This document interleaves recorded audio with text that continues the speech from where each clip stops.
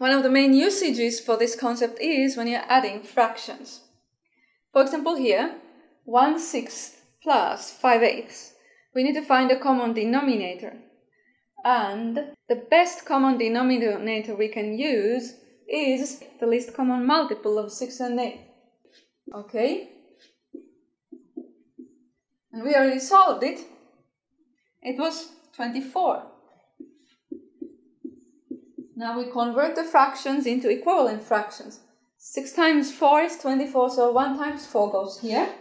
And 8 times 3 is 24, so 5 times 3 goes here. And now add 19 over 24.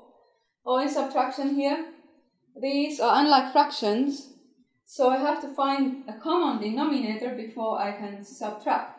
And the least common multiple of 9 and 12 was 36. So I'll use 36 as my new denominator. It's actually the least common denominator. The least common multiple of the denominators is the least common denominator. Okay, and here 9 times 4 is 36, 7 times 4 here, 28, 12 times 3, 5 times 3 is 15, and 28 minus 15 is 13 over 36. There's also another method for finding the least common multiple that is especially useful as our numbers get bigger. And while you may not need this method in 6th grade, I still want to show you a few examples because it is pretty understandable. It uses factoring, the prime factorization of those numbers.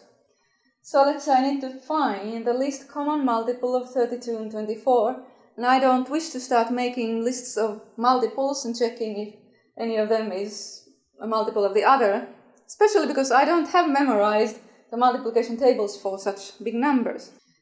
So instead, I will find the prime factorization of both numbers. 32, I happen to know by heart that its prime factorization is 2 to the fifth power.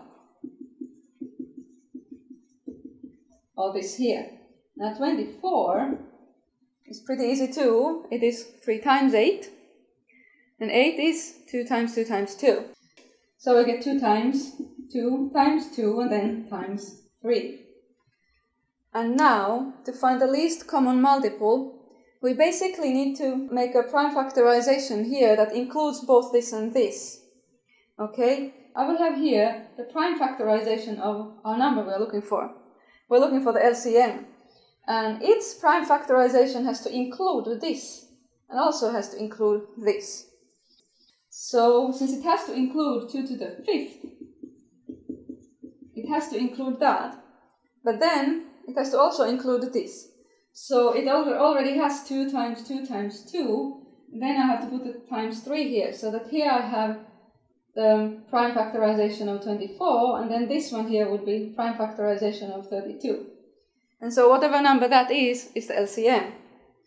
Okay, it would be the same as 4 times 4 times 6, which is 16 times 6, which is 96.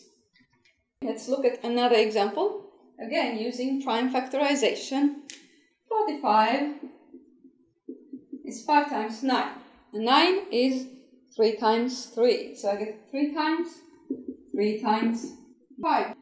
81 is 9 times 9.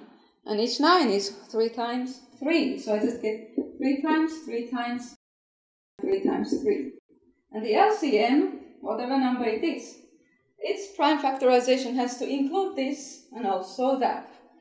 So it has to have all those threes, and then 3 times 3 times 5 has to be there too. 3 times 3 times 5 is here, and then 3 times 3 times 3 times 3 is there. Now what does this make? It's basically, this much is 81 times 5. It's 81 times 5.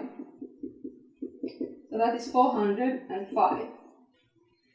And it might have taken me way longer finding the LCM using this method where we list multiples and check if any of them is a multiple of 81. And especially so when you have even bigger numbers. So this is the preferred method in mathematics for finding the LCM. Okay, I hope this was helpful.